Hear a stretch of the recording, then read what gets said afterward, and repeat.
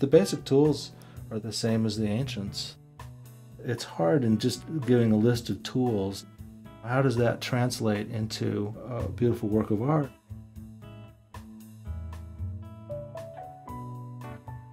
Working by hand, everything slows down and you can think about what you're doing while you're doing it.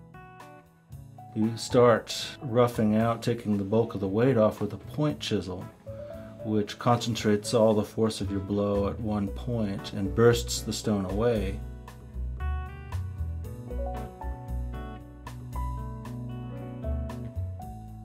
Your next step after that, having removed the bulk of the material, is to model your form with the tooth chisel.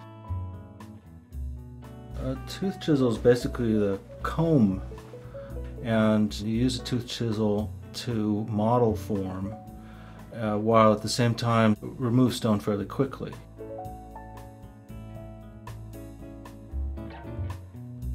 Something to remember about marble carving, it's very tactile. The way the stone bursts from a point chisel or the way your uh, tooth chisel just kind of swims through the stone. It's a hard material, but you can jump into a piece of space with these tools.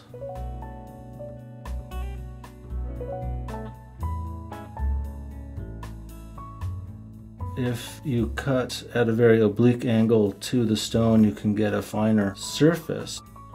If you're forcing the tool straight into the stone, you can get quite a different texture.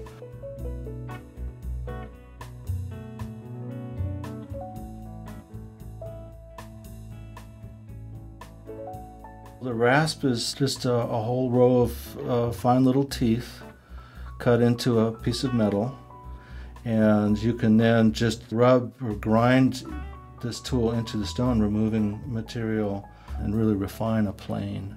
Depending on how you use the tool, you can really emphasize certain forms.